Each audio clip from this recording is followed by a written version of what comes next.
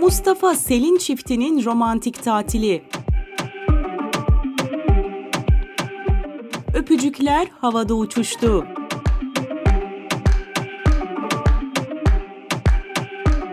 Deniz kenarında aşk tazelediler.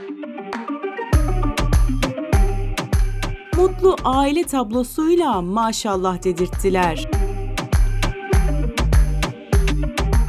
Mustafa Ceceli ve Selin İmer deniz sezonunu Bodrum'da açtı. İkili kaldıkları otelin plajında keyifli anlar yaşarken magazin burada muhabiri Kamil Sümer'in objektifine yakalandılar. Mustafa Ceceli eşini denize atmaya çalışıyordu.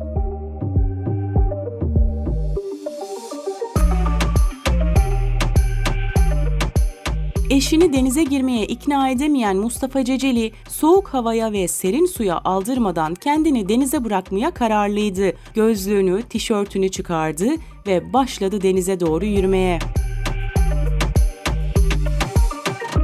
Kendisine el sallayan eşini denize girmek için ikna etmeye çalışıyordu hala. Ama Selin Hanım kararlıydı. Girmeyecekti o soğuk suya. Ceceli baktı ki olacak gibi değil, ben bir yüzeyim bari dedi, bıraktı kendini masmavi sulara. Ünlü şarkıcı denizin tadını çıkarırken Selin İmer'de kumlara oturup güneş banyosu yaptı.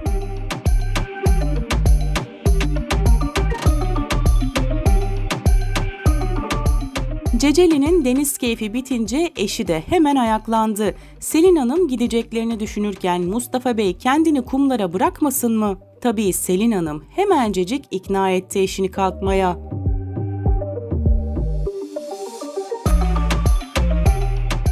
Ceceli üstüne yapışan kumları temizlemek için denizde şöyle bir ıslattı yine kendisini ve hemen eşinin yanına gitti.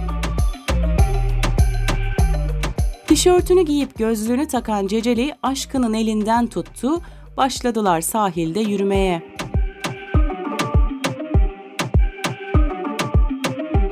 Sonra görenleri kıskandıran o görüntüler çıktı ortaya. Çifte kumrular yaşadıkları mutlu anı bir aşk öpücüğüyle taçlandırdı.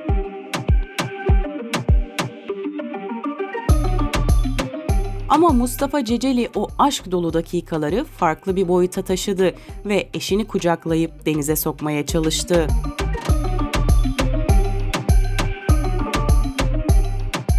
Denize girmemek için adeta çırpınan Selin Hanımsa Mustafa Ceceli'yi bir öpücükle ikna etti.